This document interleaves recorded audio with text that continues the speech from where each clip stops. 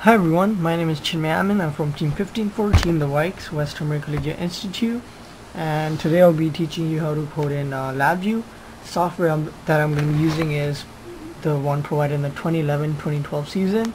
So let's get started. This is tutorial one, and I'll be just I'll just cover the basic layout and format of the LabVIEW.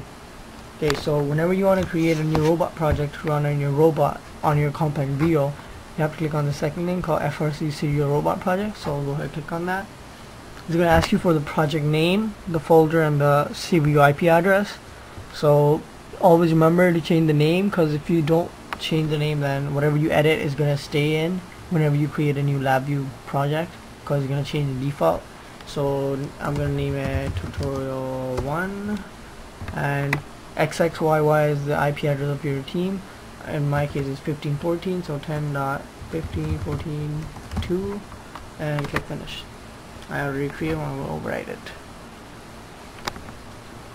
Okay so it's gonna create the project for you. And what it's gonna open up is called the project explorer. Uh, that's what it's called the project explorer window show you in a while it takes a while for it to load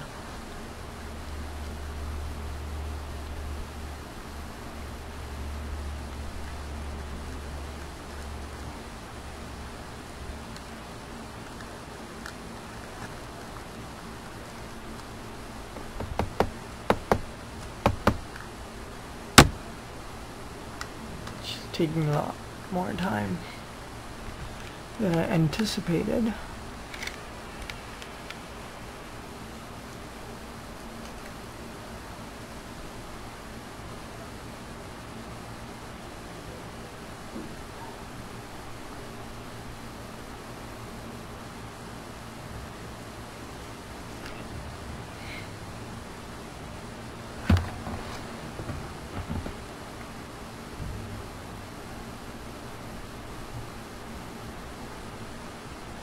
Okay, so I think it's done.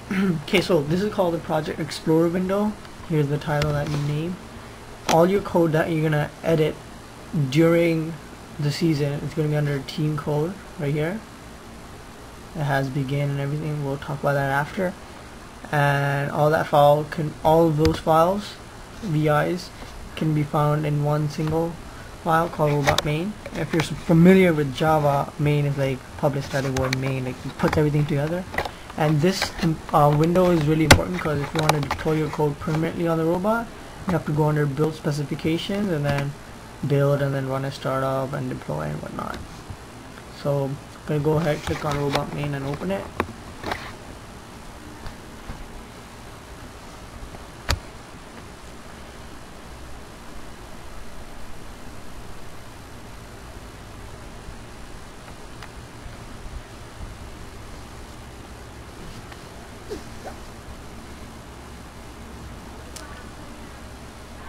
Alright, so this window right here is called the front panel window.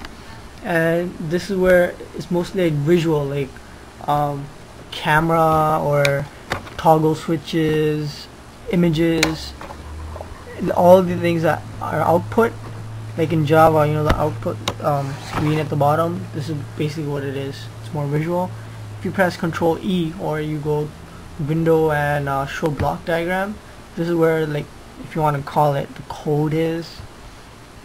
And so as you can see all the files that were found in Project Explorer begin and teleop they're all right here begin teleop autonomous okay so I'm just gonna briefly tell you that begin is for initializing. So if you want to write it down or something begin you initialize your hardware. Teleop is where you utilize your hardware. Autonomous, you utilize the hardware, but the robot has to do it by itself. I'm sure you already know that. And this is just for good programming practice. Whenever you open something in begin, always in finish, close it. and yeah so in the next video I'll be talking about in more detail of the actual coding of the basic drivetrain and what the basic code provides that FRC gives you. So see you in the next tutorial